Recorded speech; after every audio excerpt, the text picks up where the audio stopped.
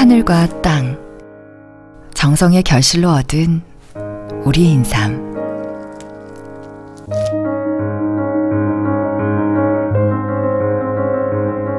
인삼이 더 쉽게 발효되도록 옛 어머니의 지혜, 자염으로 숙성해 인삼을 부드럽게 만들어주고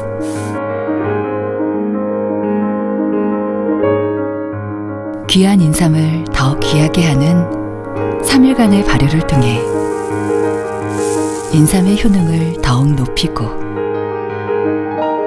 피부에 깊이 흡수될 수 있는 상태로 만들어 시간이 흐를수록 깊어지는 극진한 정성까지 담아냅니다.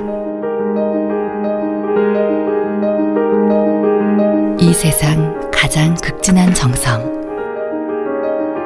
그 손길이 닿는 곳은 바로 당신입니다.